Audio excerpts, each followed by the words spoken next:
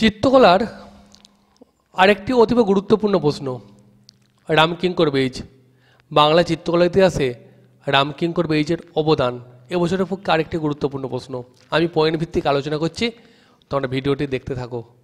এবং যদি ভালো লাগে বন্ধু বান্ধবদের শেয়ার করে দাও। তাই আজকের আলোচনা, বাংলা চিত্রকলায় রামকিঙ্কর বেইজের অবদান আলোচনা করো।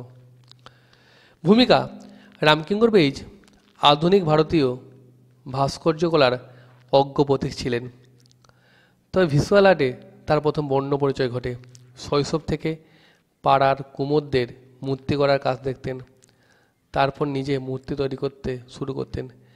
প্রবাসী পত্রিকার সম্পাদক আর রামানন্দ চট্টোপাধ্যায় তাকে শান্তিনিকেতনে নিয়ে আসেন। প্রথমে ছাত্র এবং পরবর্তীকালে শিক্ষক হন। পরের পয়েন্ট রামকিঙ্কর বেইজ ও শিল্পকলা। রামকিঙ্কর বেইজ শান্তিনিকেতনের তার শিল্পী সত্তা মুক্তির যথার্থ আঙ্গিক আঙ্গিক পায়। তার জীবনের বিভিন্ন ক্ষেত্রে মাথার ওপরে ছিলেন রবীন্দ্রনাথ, অবনীন্দ্রনাথ ও নন্দলাল বসু। নিজের স্বাধীন চিন্তা নিয়ে ছবি আঁকতেন এবং মূর্তি তৈরি করতেন। তার প্রথম শিল্পকলা হলো সুজাতা।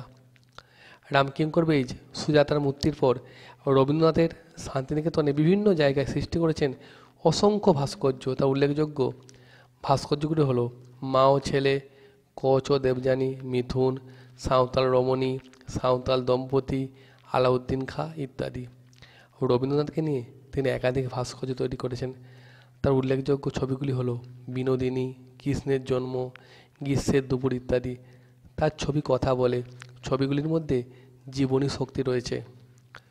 শিল্পীর সম্মান, কলকাতা, মুম্বাই, দিল্লিতে তার ছবি প্রদর্শনী হতো। দেশে বিদেশে তার ছবি নানান সম্মান পেয়েছিল।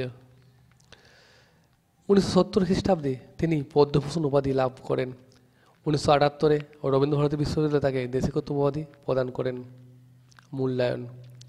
তিনি আজ আর ইহ জগতে নেই, কিন্তু তার সৃষ্টিগুলি তাকে অমর রাখবে এবং আগামী দিনের শিল্পীদের অনুপ্রেরণা যোগাবে। আধুনিক চিত্রকলার ইতিহাসে রামকিঙ্কর বেইজ এক আদর্শ শিল্পীর নাম।